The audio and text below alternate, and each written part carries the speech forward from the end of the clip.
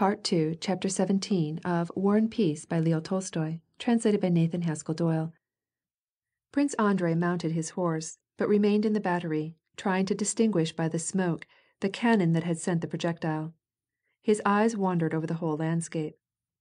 All that he could make out was, that the till now motionless masses of the French were beginning to stir, and that there really was a battery at the left. The smoke above it had not yet dispersed.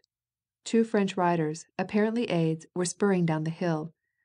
At the foot of the hill, a small, but clearly distinguishable column of the enemy were moving, evidently for the purpose of strengthening the lines. The smoke of the first gun had not blown away, when another puff arose, followed by the report. The action had begun. Prince Andrei turned his horse and galloped back to Grund to find Prince Bagration. Behind him he heard the cannonade, growing more frequent and louder. It was plain that our side had begun to reply. Below, in the space where the envoys had met, musket shots were heard. Lemarrois, with Bonaparte's angry letter, had just dashed up to Murat, and Murat, ashamed of himself, and anxious to retrieve his blunder, had immediately begun to move his army against the centre, and at the same time around both flanks, hoping before night and the arrival of the emperor to demolish the insignificant division that opposed him. "It has begun, here it is," said Prince Andrei to himself, feeling his heart beat more violently. "But where, how shall I find my Toulon ?" Riding among the companies which had been eating their kasha gruel and drinking vodka only a quarter of an hour before, he everywhere found the soldiers hastily moving about, getting into line and examining their guns. On all faces there was the same feeling of expectancy which he had in his heart. The face of every soldier seemed to say, " It has begun. Here it is. How terrible! How glorious !" Before he reached the unfinished earthworks, he saw in the twilight of the gloomy autumn day some horsemen riding toward him. The foremost in a felt burka and lamb's wool cap rode a white horse. This was Prince Bagration. Prince Andrei stopped and waited for them. Prince Bagration reined in his horse and, recognizing Prince Andrei, nodded to him. He kept his eyes straight ahead all the time, while Prince Andrei was reporting to him what he had seen. The thought, " It has begun, here it is," could also be read on Bagration's strong, brown face with the half closed, dull eyes, that seemed to show the lack of sleep. Prince Andrei, with uneasy curiosity, looked into his impassive face, and tried to read whether he had any thoughts or feelings, and if so, what the thoughts and feelings of this man were at this moment. Is there anything remarkable behind that impassive face?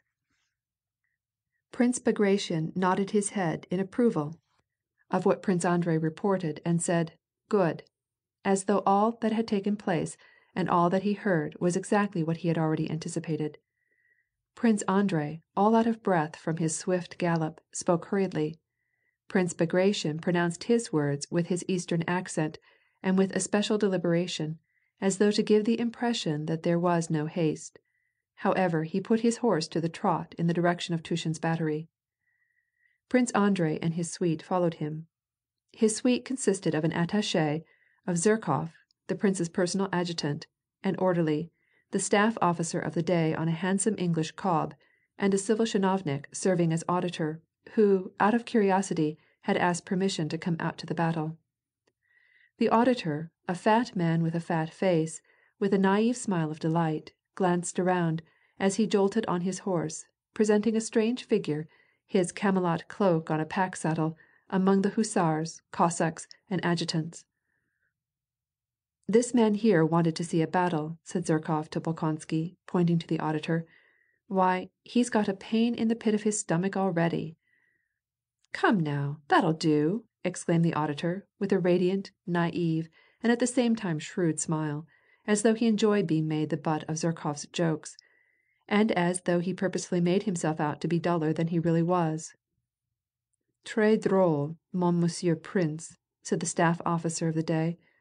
He remembered that in French there was some peculiar way of speaking the title of prince, but he could not get it quite right.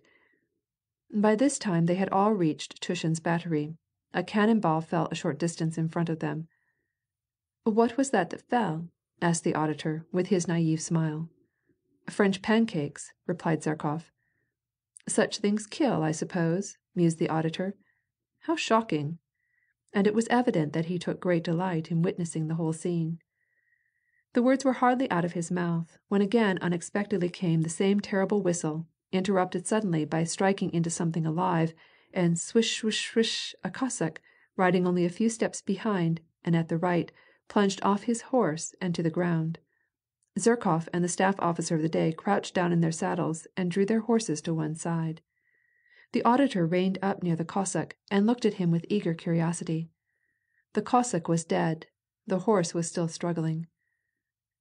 Prince Bagration, blinking his eyes, glanced around, and seeing the cause of the confusion turned his head again indifferently, as much as to say, "It isn't worth while to bother with trifles." He reined in his horse with the skill of a good rider, bent over a trifle and adjusted his sword, which had got entangled in his burka. The sword was an old one, unlike those worn at the present time. Prince Andrei remembered having heard it said, that Suvarof had given his sword to Bagration in Italy, and this recollection was peculiarly agreeable to him at this time. They reached the very same battery where Bolkonsky had been when he made his reconnaissance of the battle field. " Whose company ?" asked Prince Bagration of the gunner who was standing by the caissons. He asked " whose company," but his question seemed really to imply, " Aren't you all frightened, you men here ?" and the gunner understood it so. " Captain Tushin's, your excellency," cried the freckled, red haired gunner, in a jocund voice, saluting. "So, so," exclaimed Bagration, absent mindedly, as he passed by the limbers toward the last gun. Just as he reached it, this cannon rang out, with a report that deafened Bagration and his suite, and in the smoke that spread round, could be seen the gunners, seizing the cannon and slowly bringing it back to its first place. Gunner number one, a huge soldier, with broad shoulders, holding the sponge, leaped back with a long stride to the wheel, and number two, with trembling hand, forced the charge down the muzzle. A little round shouldered man, the officer Tushin, stumbled over the tail of the carriage, hastened forward, without heeding the general, and gazed into the distance from under his small hand. " Raise it two lines more. There, there, that'll do," he cried in his little thin voice, to which he tried to impart a vigor ill suiting his nature. " Number two," he whined, " let 'em have it, Medvyedef." Bagration beckoned to the officer, and Tushin, with an awkward and timid gesture, absolutely unlike those used by military men, and more like a priest when giving a blessing, raised three fingers to his visor and went to the general. Although it had been intended for Tushin's field pieces to sweep the valley, he had begun to send red hot balls at the village of Schongraben, in front of which heavy masses of the French could be seen concentrating. No one had directed Tushin where and how to fire, and so, having consulted with his sergeant, Zakhartchenko, in whom he had great confidence, he decided that it would be a good plan to set the village on fire. " Good," said Bagration, in reply to the officer's scheme, and then began to scan the field of battle before him, and seemed to be lost in thought.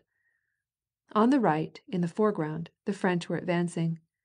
Below the height on which the Kief regiment was stationed in the ravine through which flowed the brook, could be heard the soul stirring roll and rattle of musketry, and just at the right, the attache pointed out to the prince the column of the French trying to outflank our wing. At the left the horizon ended in dense forest. Prince Bagration ordered two battalions from the centre to strengthen the right wing. The attache ventured to remark to the prince that if these battalions were withdrawn, the artillery would be uncovered. Prince Bagration turned to the attache and without replying looked at him through his lifeless eyes. It seemed to Prince Andrei that the attache's criticism was correct and that in fact no reply could be made to it. But at this instant an adjutant came galloping up from the regimental commander who was in the valley, with the report that overwhelming masses of the French were marching down upon them and that his regiment was demoralized and was falling back upon the Kief grenadiers. Prince Bagration inclined his head in token of assent and approval. He walked slowly towards the right, and then sent the adjutant to order the dragoons to charge the French.